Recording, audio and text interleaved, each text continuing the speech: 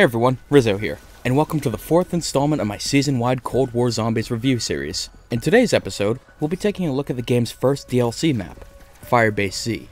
However, before diving into the map, there's a lot to catch up on in the world of Cold War Zombies, mainly because it took forever for me to actually make this, so let's speed through these real quick.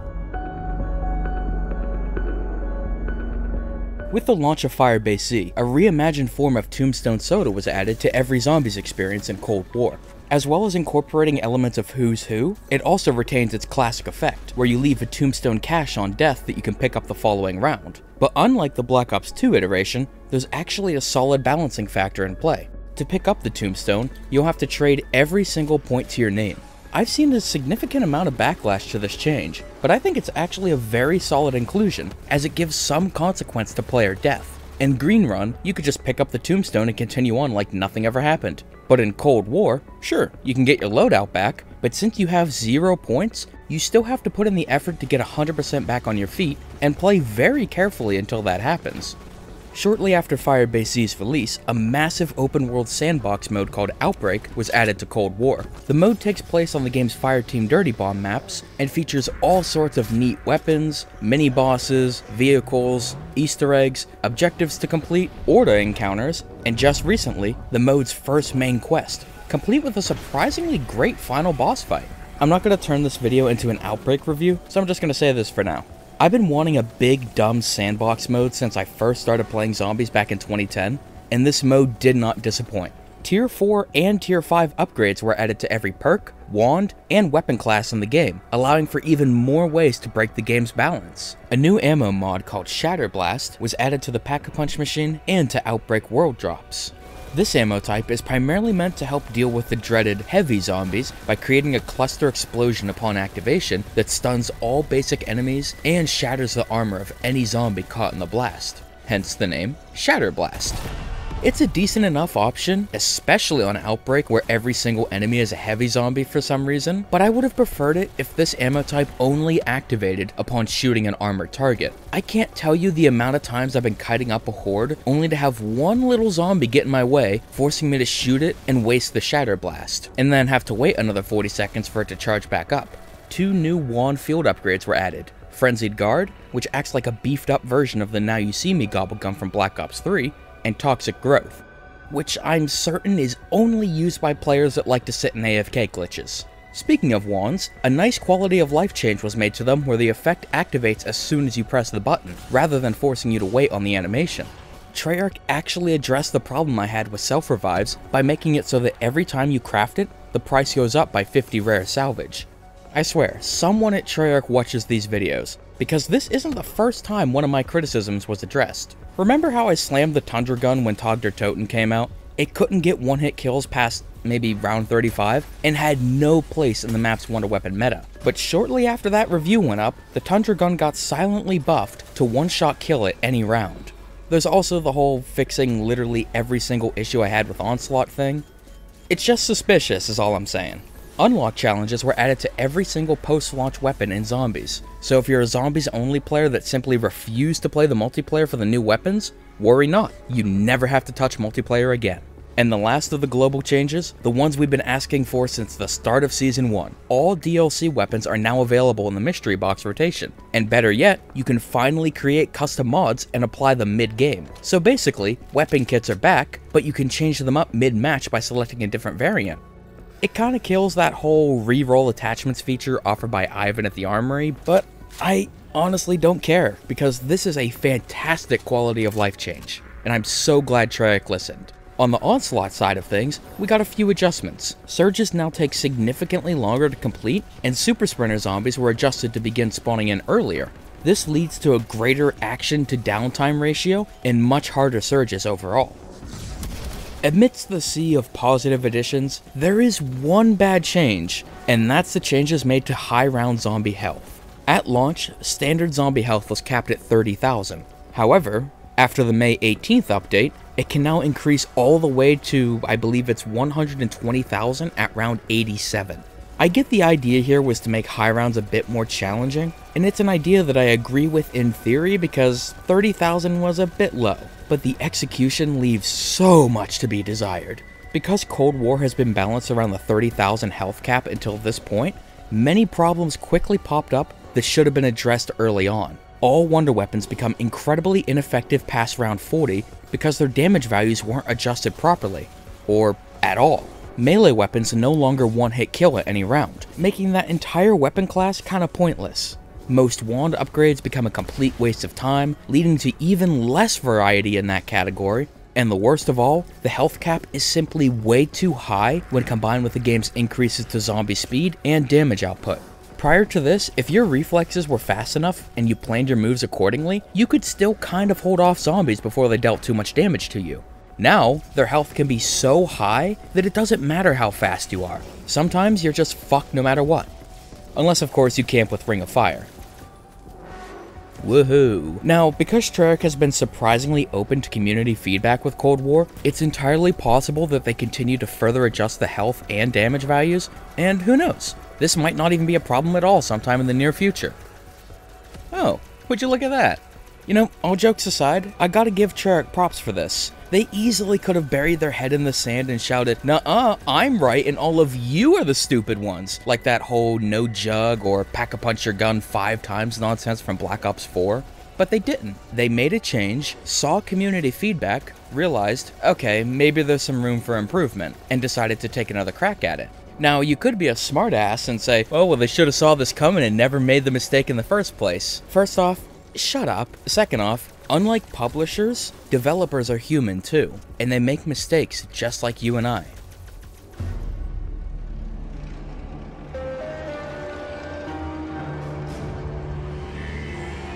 Starting out with the good, we have the most important part of any standard zombies experience, map design. Like its predecessor, Firebase Z is a medium-sized map whose design focuses primarily on fast-paced, close-quarters engagements, and like Die Maschine, upon turning on the power, many of the map's locked doors will open up and allow for each of these individual areas to flow into one another much more fluidly. But what if you're not a fan of super close quarters combat? Well, worry not. As was the case in Die Maschine, there are exceptions for those that might not be comfortable with such close quarters. Last time, it was the plane crash. In Firebase Z, we have the downed helicopter. This area is much more wide open and welcoming than the rest of the map, but still not open enough to the point where literally nothing can threaten you. And unlike Die Maschine, because this map commonly spawns enemies with special ranged abilities, this wide open space can actually be a bit of a double-edged sword, as there's nothing to quickly take cover behind if you're caught in the open. However, there's one aspect where this map completely trumps Die Maschine, and that's its variety of holdout spots.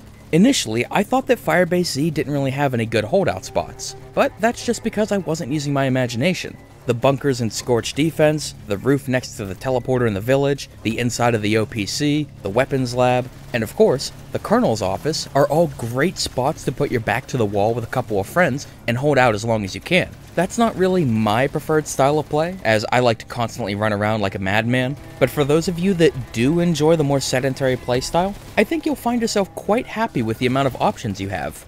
Many of these holdout spots are made even better by the map's wonder weapon, which feels like it was made specifically with this style of play in mind. Coming off the heels of Die Maschine's rather lackluster die machines, Firebase Z introduces a brand new ray weapon, one that's quickly become one of my absolute favorites, the Ray K-84. Based on recovered schematics of Gorod Krovi's Raygun Mark III, the raygun fires high damage beams that can pierce through an entire horde of zombies, should you line the shots up properly. Mounted underneath is a special grenade launcher whose projectile damages and slows any enemy within a short range. However, like the Mark III before it, shooting it with the ray beams will overload it and cause a new effect. In Gorod, it opened a black hole that disintegrated anything it touched. In Firebase Z, the mine overloads and unleashes a devastating explosion that kills all standard zombies in range at any round. But what really makes the Ray K special is how interactive it is. A question that I brought up before when talking about my favorite Wonder Weapons is how interactive is it? Weapons like the Apothicon Servant, Thundergun, and Paralyzer are incredibly powerful, no doubt, but I don't really enjoy using them because I don't really feel like I'm doing anything. My skill doesn't really matter. I just pull the trigger once and everything dies. It looks cool, and like I said, it's effective as hell, but there's nothing really to it. The K is the complete antithesis of this. You, the player, have to know how to properly use it to get the most out of it.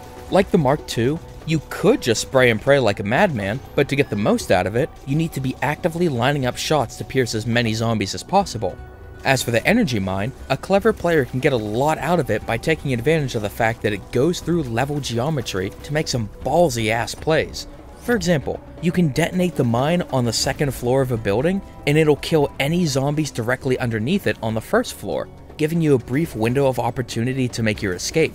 So whether I feel like running and gunning or holding out in a corner, the Ray K has me covered. It's versatile, satisfying to use, has plenty of player to enemy interaction, satisfying sound design, solid FX work, and a great visual design to boot.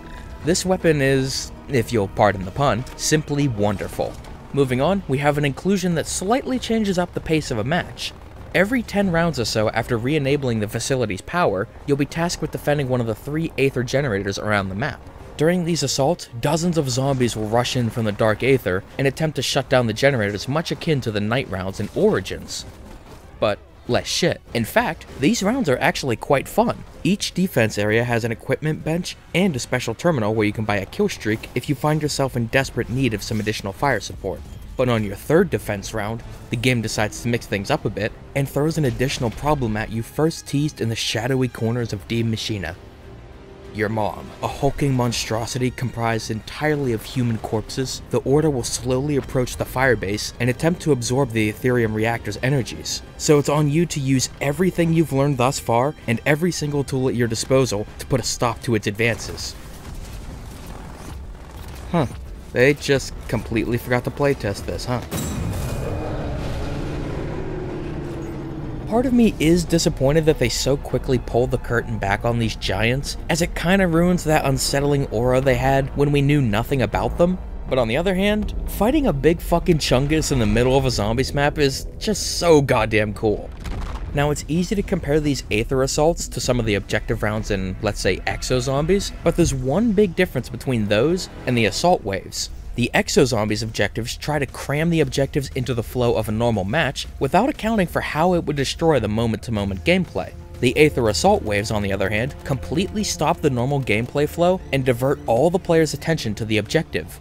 All you have to do here is defend the reactors. This simplicity is why it works. It's intense without becoming overbearing. It's not like Carrier's bomb defusal, where you're given literally zero warning ahead of time. There's just a bomb with a really short timer all of a sudden, and it's on you to disarm it. The standard zombies gameplay remains unchanged, and they continue their assault as normal, but now you've got Atlas soldiers with ranged weapons thrown on top of it, and it just becomes a complete mess. Like, can you imagine how awful the Aether Assault rounds would be if zombies kept spawning in normally in addition to the Aether portals, and you weren't given that 30 second timer to get ready? Holy shit, what a nightmare. the last gameplay element I want to touch on is the map's new special enemies. Firebase Z opts to not recycle the Megatons, Mayeks, and Plaguehounds of Die Maschine, and instead features an entirely new assortment of special enemies to fight. The first and most unique of the bunch is this map's poster child, the Meuchler, uh, the Mimic. Treyarch really be out here asking Sledgehammer, hey, can I copy your homework? A monstrous amalgamation of several corrupted Omega Group workers, the Mimic can, as the name suggests, mimic the environment around it to camouflage itself. Whether this is done by taking the form of a common household item like a chair, an enticing piece of ground loot like a chopper gunner, or in incredibly rare situations, a perk machine, mimics are meant to be slightly more intelligent than your average undead. But they don't just rely on this to do damage. If a player gets too close, the Mimic can either swipe at them with powers similar to a Megaton, or grab them with their creepy little tentacle things, and bite them. They also have a ranged attack to help deal with out-of-map glitches, where they'll spit an electric goo ball at the player. Stop that. The only problem I have with the Mimic is that like the Crimson Nosferatus from Dead of the Night, their bite attack is potentially devastating, but sometimes it just bugs out, leading to the player taking absolutely no damage from the bite. I have no idea exactly why this happens, and believe me, I've tried to figure it out, but it just does sometimes, and it's kind of disappointing to see an enemy just not function sometimes, you know? The next special enemy on the docket is the Russian Mangler, I remember watching the trailer, and when I saw that mangler, I instantly felt a pit in my stomach. These enemies were absolute garbage in Gorod Krovi, and I never wanted to see them again. So imagine my surprise when Treyarch not only managed to fix the thing I hated most about them, which was their cannon tracking, but actually make them threatening. They've retained just about everything from their Gorod counterparts, but with one key exception. Their cannon shots no longer have absurdly high tracking, and you can stun them mid-charge up. That means that not only can you dodge a shot if you're fast, you're not going to get shot around corners anymore. I seriously cannot tell you how many times I died in Gorod because a Mangler thought it would be funny to shoot me around a fucking 90 degree corner. Seriously, look at this nonsense! To compensate, the Firebase Z Manglers are much tougher to kill than their paper mache counterparts from Black Ops 3, which I think is a solid trade-off. And if Treyarch wants to bring more of Aether's special enemies back like this, I'm 100% down. Personally, I'd like to see the Margwas again, especially since we were robbed of their return in Black Ops 4. Now, one could argue that these special enemies can drain your ammo real quick due to the relatively high spawn rates. But Treyarch must have thought of that too, because all special enemies in Firebase Z will drop an ammo clip or two on death, meaning that the ammo you just spent killing the enemy is almost always instantly replenished. It just becomes a matter of can you and your team hold them off. So, while Mimics and Manglers are indeed powerful and sound kinda broken on paper, their power is tempered by very obvious weak points and a balanced health pool. Like the Megatons, Blightfathers, and Margwas, I feel that these are very well balanced enemies that actually add to the map's gameplay flow, rather than detract from it, like some of the mode's more problematic special enemies. Yes, I'm talking about Thrashers. And rounding out the map's cast of creepy critters are the Hellhounds, Replacing the plague hounds of Die Maschine and their infuriating lunge attack, Aether's classic Hellhounds make a return, but with a different function. They no longer physically attack the player, and instead focus on suicide bombing them. When they explode, whether it be of their own volition or due to a player's attacks, they'll leave behind a pool of burning napalm that, like a plague hound's gas, damages anything that comes in contact with it, be it player or zombie. I honestly don't really have much to say about them. They are completely fine additions. The last thing I want to discuss before moving on from gameplay is the map's main quest and Firebase Z's continued focus on player accessibility. Like Die Maschine, this quest is significantly more handholdy than previous Zombies quests, which has been cause for some community pushback, but I personally don't see this as a bad thing. According to an interview with Treyarch published around the time of Outbreak's release, they stated that this was an intentional decision because almost nobody outside of YouTube or Reddit actually ever completed these things. So naturally, because most critical story information was hidden behind these quests, many casual players who might not even use YouTube or Reddit felt super confused as to what the hell was even going on. For as much as I love Blundell's run on zombies, it wasn't exactly new player friendly, with the gameplay out of the way, let's discuss the map's story, characters, and general presentation. An issue that some had with Die Maschine is how toned back its approach was compared to more recent Zombies endeavors. Aside from the quest's spectral reflections, the resurrection of Orlov, and the occasional comment from your commander, Die Maschine was a fairly lonely affair. There weren't any boss fights or a massive outro cutscene or anything like that. It was just you, an abandoned Nazi facility, and a bunch of zombies. Personally, I feel like the more toned back, lonely approach to Die Maschine was intentional. That map felt very much like a return to the classic formula the Treyarch Zombies had kind of forgotten about. A map where you're not constantly bombarded with exposition or quests from all sorts of side characters. Firebase Z, on the other hand, is a much more action-heavy, narrative-driven experience that sees Requiem working alongside Omega Defector Ravenov to save Samantha Maxis. Along the way, they face resistance from constant Dark Aether breaches and the only other surviving member of Outpost 25, Dr. William Peck. It feels like with this map, Treyarch is slowly easing a new audience into the more cinematic, story-based approach that fans of the Blundell era are more familiar with, and I wouldn't be surprised if the next round-based map brings us even closer to that style. If we ever actually get one, that is.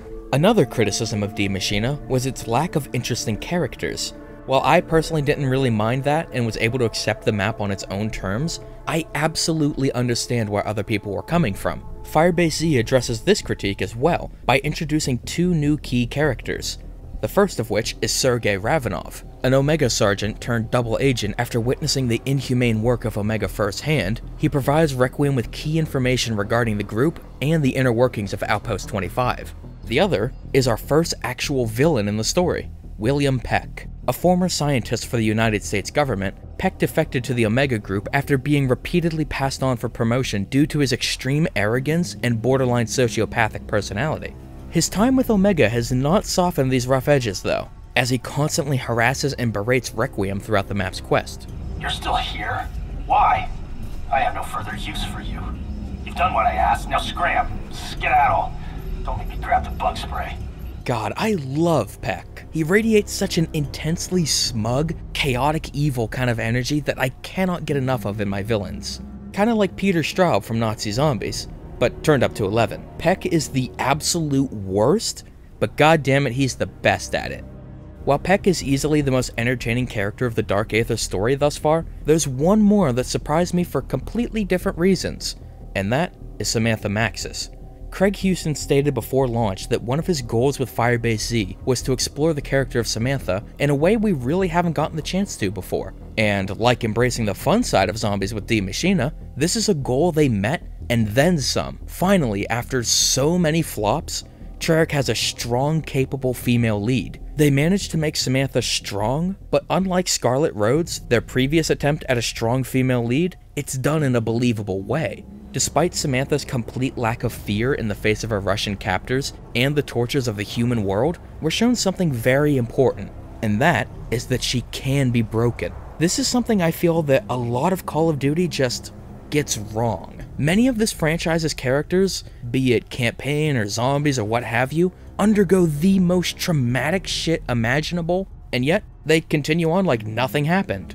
Yeah, yeah, I know. Call of Duty Zombies isn't exactly the place for frighteningly realistic takes on post traumatic stress disorder, but let me dream, okay? Although Samantha starts out as a very strong, capable lead, throughout her time in the Dark Aether, she slowly begins to break down. She becomes an unhinged, violent soul that hides in the shadows of the Aether and on one particularly bad occasion, she suffers a blackout, completely loses control, and slaughters an entire squad of Omega soldiers with only a knife, using it to rip into their corpses long after their deaths. When she finally snaps out of it, she just sits there alone and afraid, surrounded by the remnants of her rampage, and wanting nothing more than to go home. And what's really interesting is that much of this change wasn't just brought on by the Aether, much of it stems from one specific seed of doubt that realistically blossoms into a complete mental break.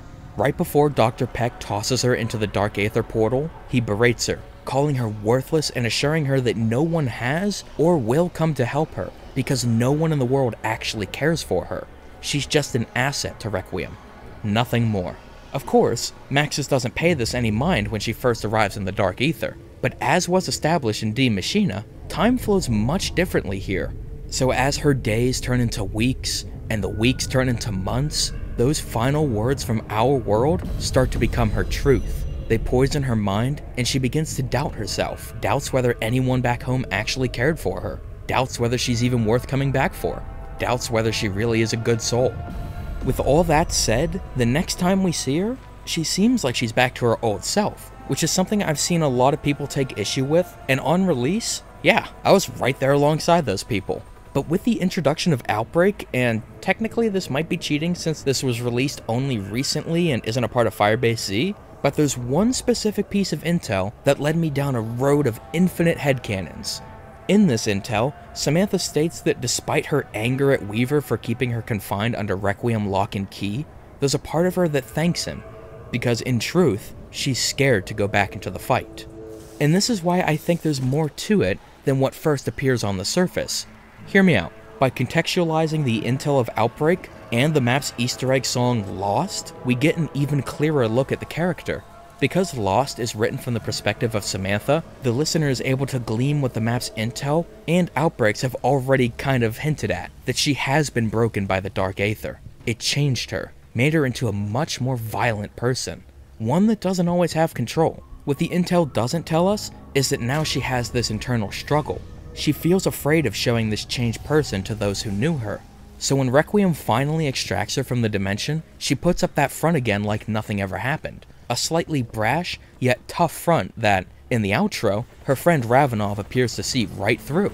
There's nothing so broken that it cannot be fixed. Maybe I'm reading a bit too much into it and seeing what I want to see, as I'm known to do on occasion, but the way I interpret this line is that Ravenov is speaking to the hurt little girl underneath that rough exterior. Without directly confronting Samantha and forcing her to deal with that pain before she's ready, he's reassuring her that even though she may feel lost, scared, and broken right now, there will be a time where she won't feel like this. Everything will be set right, and someday, maybe not today or tomorrow, but someday, things will be better.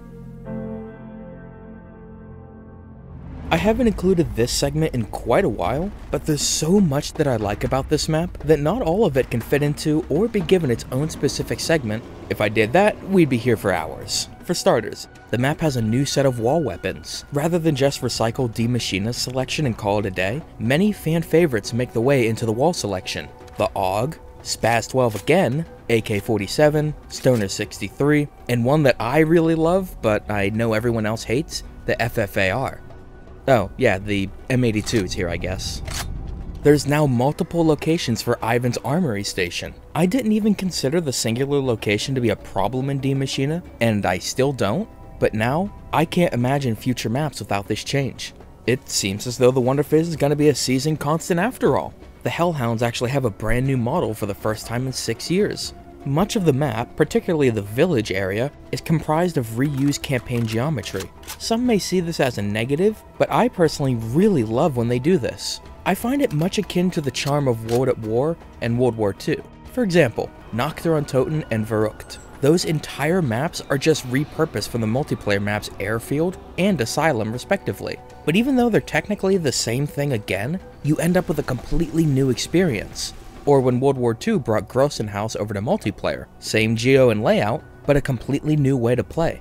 I don't know, maybe I'm just easy to please, but to me, it's really charming to see a different spin put on locations that I'm already familiar with. The map's Easter egg song, Lost. While I really enjoyed Die Maschine's Alone, and that's easily Clark Nova's best zombie song, Lost hits different. I love Kevin's rock songs, but the ones that I really adore are the more slow, beautiful ones like Where Are We Going, Always Running, and the theatrical mixes of Archangel and The Gift. What's really special about Lost is that not only is it written by lead writer Craig Houston, but it's actually sung from the point of view of Samantha Maxis by her voice actress Julie Nathanson. Maybe it's the fact that we've been following this character for over a decade, or maybe it's just Nathanson's beautiful singing voice, but I don't know, something about this one just hits different. On the topic of Samantha, can we talk about her scavenger design for a minute? Not only does it not so subtly remind us of the old era of Aether through some choice accessories, but it's the textbook definition of a DeviantArt OC. Think about it. We've got the edgy skull on her shoulder pad, she has a sweet freaking katana, badass facial scars, and the cherry on top, Aetherium tainted eyes that glow purple. And I am fucking here for all of it. OC or not, this design rocks.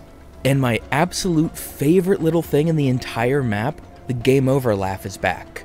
It's been absent from every single map's Game Over song since Mob of the Dead started the trend back in 2013, which is the worst thing about that map. That's 8 years of not hearing this, for lack of a better term, iconic sound effect.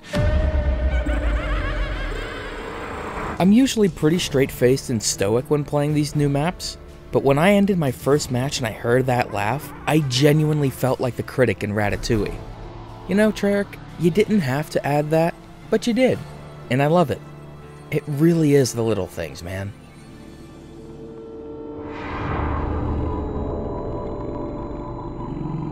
So there's a lot to love about Firebase Z, but even with masterpieces like Mob of the Dead and Der it's still not perfect. So, let's get started. I mentioned earlier how I like the map's new characters, but I still can't help but wish that this had extended to our player. I've largely come to terms with the fact that we're probably not going to get a traditional crew of sorts in this game, and personally, this doesn't completely break the experience for me or anything like that. I mean, yes, I would have preferred it if they handled it like World War II, where you had a canonical cast, but then there were these special non-canon characters you could play as if you wanted to, but hey, can't get everything we want, right? Eh, they fixed Onslaught, that's more than enough for me. The complete lack of Dark Aether. One of the coolest parts of Die Maschine was being able to teleport to the Dark Aether and see how it mirrored our world. It was beautiful to look at, but there was something off about it that was creepy as hell. It gave the experience its own unique charm that hadn't really appeared in zombies at this point. In Funny Base Z, there's not a single canonical instance of traveling to the Swag ether. Instead, the only time we get a glimpse of the Dark Hour is during the Loot Chest side quest. And it's not just a copy paste of Die Maschine either, it has its own unique approach. Instead of assaulting the player with colors and chromatic aberration, it's pitch black, with the only exceptions being the light emanating from the undead and the glow of the demonic bunny. It's weird and unsettling, which makes it all the more disappointing that they do nothing with it. Die Maschine showed immense potential for the Dark Aether, not only from a visual perspective, but a puzzle perspective as well. I was so excited to see what kind of neat easter eggs they'd come up with by utilizing the whole cracked mirror reality thing, and to see such potential completely dropped is a bit disappointing. Another element dropped from Die Maschine was the ray gun. Even though it hasn't really been all that useful until Cold War, the ray gun has always been a comforting constant throughout the Aether saga, appearing in literally every single map. When things got weird in the Blundell era, the ray gun was right there alongside it. Same goes for the perk machines, power-ups, wall chalks, all that good stuff. They were comforting constants that helped us stay subconsciously connected to where it all began. Firebase Z marks the first Aether map in its 13 year run where the ray gun doesn't make an appearance and it's honestly really jarring. I know they probably omitted it to give the Ray K more time to shine, and it's probably just the fanboy in me talking, but I feel like there are some things that are tradition for a reason, you know? Especially with how incredible this game's version of the ray gun is. It just feels... it feels wrong to not have it here. Thankfully though, Outbreak has rectified this sin, so it doesn't seem like the ray gun is going to be gone for long. I mentioned earlier how much I like the new special enemies, but there's one returning face that still kinda irks me.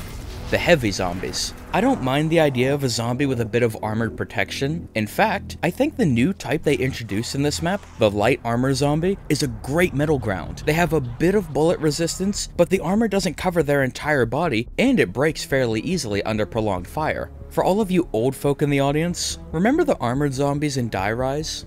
Yeah, it's kind of like that. These guys are totally fine. Heavy zombies, though, have massive resistance to all bullet-based weapons, and when you hit a piece of armor, it nullifies all multipliers associated with the weapon. So any weapon that relies heavily on headshots to deal damage like the Magnum or the entire sniper category are next to worthless against these guys. Sure, Shatterblast helps a little bit, but that has a very lengthy 40 second cooldown and is more of a band-aid solution if anything. I love a lot about Cold War zombies, to the confusion of some, but you will never see me defending these guys. Except for their goofy little smile. Look at him, he's so happy. He knows he's making almost two entire weapon classes worthless. Now, let's move on to the main quest. I praised the accessibility of this earlier, but to say that it's flawless is far from the truth. In particular, there are two parts of the quest that irk me. The first, and honestly least annoying by comparison, is the Mimic Memory step. This step requires you to capture and analyze the memories of what used to be Omega Group personnel to help save Maxis. And to a certain extent, capturing these little characters is actually kind of fun.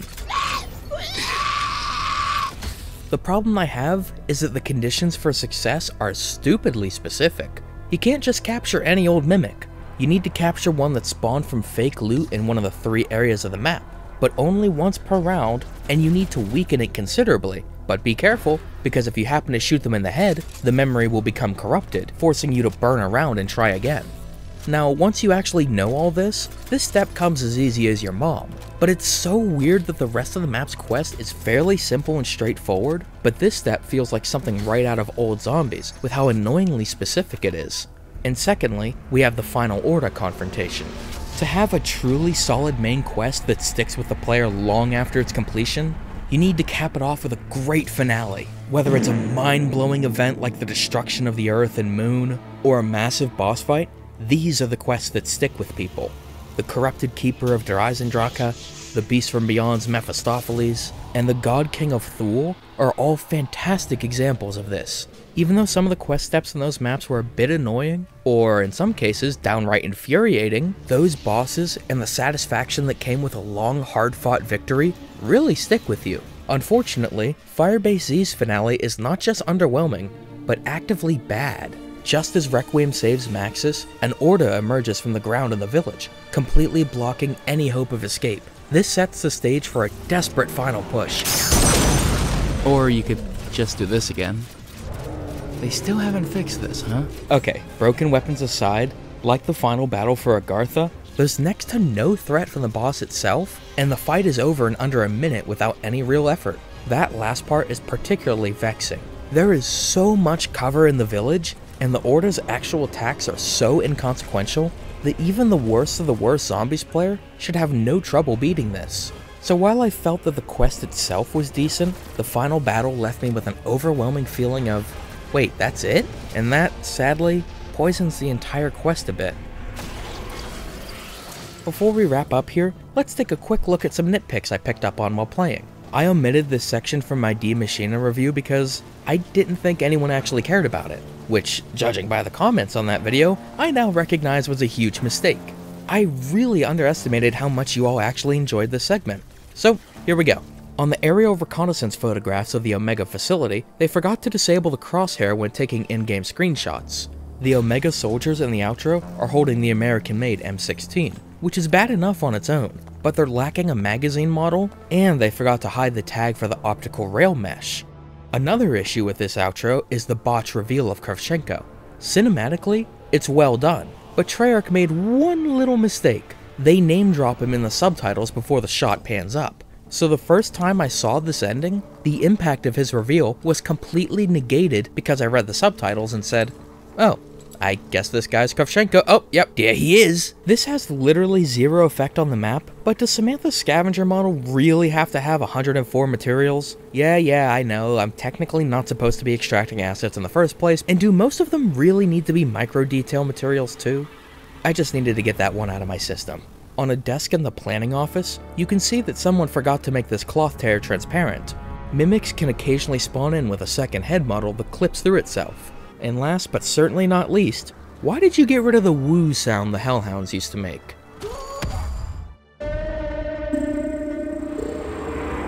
In conclusion, Firebase Z takes everything, well, almost everything, that made Die Maschine great and builds on it. The map design is strong and conducive to the new special enemies, which are quite solid in their own right. There's some unexpected turns for the character and story of Dark Aether, and lastly, the main quest is nice and simple, finally allowing zombies to open itself and the world up to a much wider audience instead of being made strictly for us YouTube weirdos. Really, the only negatives I can list are heavy zombies still kinda suck, the final boss is super disappointing, and I guess that mimic step in the quest is kinda silly. You know, on one hand, it's refreshing to love a map this much, but on the other, it makes reviewing them a bit tougher, since I like to try and look at things from a more balanced perspective if I can. But throwing aside professionalism for just a moment, I know this map isn't perfect, but god damn, I just. I really love it. What's that feeling? Is that happiness? oh, I don't like that at all. Well, that's all for today. I know this one, like Die Maschine, was a bit delayed to put it lightly, but I'll level with you. I really haven't been feeling YouTube most days for some reason, and I've been spending most of my free time lately just playing other games. Sure, I've been keeping up with zombies and enjoying the hell out of it, but aside from the occasional stream or session with friends, most of my gaming time has been spent playing through the Persona games, which is entirely Nick's fault for introducing me to Royal. I know life the absolute shit out of 5 and 4, and then immediately jumped into 3 like, hey, those last two were fun, this one has to be fun too, right? Oh. Oh no. Oh no, this one is depressing as shit, and also my new favorite game of all time. Hey, and the film adaptations are super good too? Huh, wicked. So, despite the delays, I really hope you enjoyed watching. As for future reviews, I think I'm going to review maps a lot later in their life cycle like Firebase Z, so that I can really have time to absorb these things and form a solid, informed opinion on them. And as for Outbreak, I have no plans to review it for the time being. The reason for that being this comment right here. It brings up a very good point I hadn't considered before. Because Cold War is a live service game, much to my chagrin, it's more than likely that Outbreak is going to continue getting adjustments to its balance, additional maps, and objectives, and so on. So I think it'd be better to wait until at least the end of Cold War's first year of content to properly cover it. This kind of extends to Onslaught as well, but the changes there were so massive that my original review was completely outdated, and I felt it was only fair to reward such hard work with more accurate coverage. Anyway, thank you all for watching, and I hope you have a wonderful day. Take care.